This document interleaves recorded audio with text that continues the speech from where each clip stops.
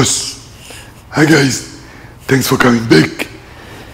Sorry I'm not in a gi, it's in a wash.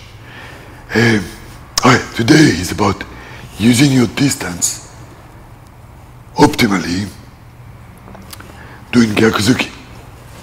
Very important subject. And many people make mistake with it.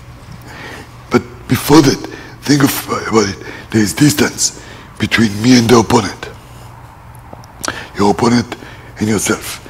And then there's distance of your own technique, whether it's Gyakuzuki, Mae geri, and each technique have its own range or ranges of distance. In the case of Gyakuzuki, right, look, your foot make the distance. Try to think of your foot inside the opponent foot. And then rotation last. Right? So if this is my opponent. Foot set the distance. rotation. Last. So there are two components, shifting and rotation.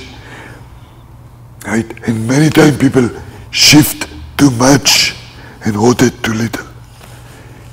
Shifting cannot increase as much energy in a short space. Rotation is the major energy. So, shift rotation last.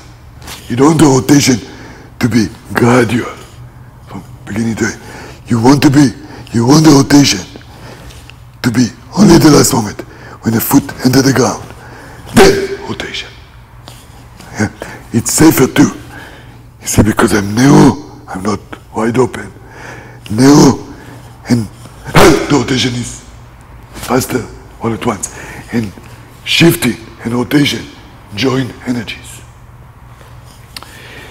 Sensei Nishiyama used to explain it as a car accident. Not car accident, sorry. Let's say you drive your car, you push the brake, but only your left brake work, the right does not. What happened? The car will spin. See there? When you stop, the energy will get spin. And this is the same here, you see on my foot. Stop. Foot stop.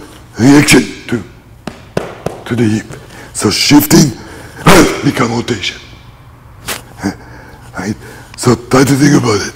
Shift, rotation. Right?